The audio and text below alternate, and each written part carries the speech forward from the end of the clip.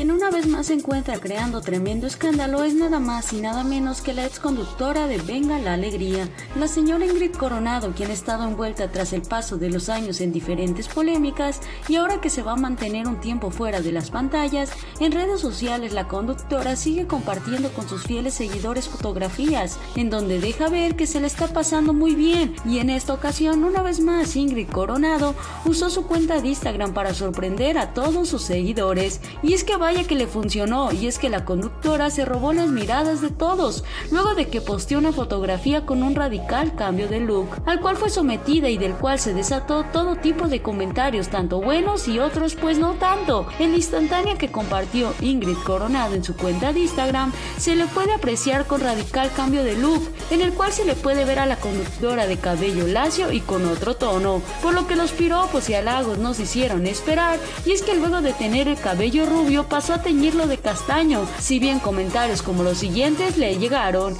Ingrid, luces guapísima, te sentó muy bien ese color, eres una mujer muy sensual, carismática y hermosa. No esperaba verte con ese tono, pero te ves divina. Pero claro, como las opiniones se dividieron, también hubo quienes le dijeron esto otro. Sí te ves bien, pero te prefería de rubia. No me gustó cómo te ves. Con ese tono luces más vieja, te ves más acabada, regresa al rubio. Pero tras esto, ¿ustedes qué opinan del nuevo cambio de look de Ingrid Coronado? Este video dale like y compartir, ya que todos los días te traeremos el alboroto de los famosos.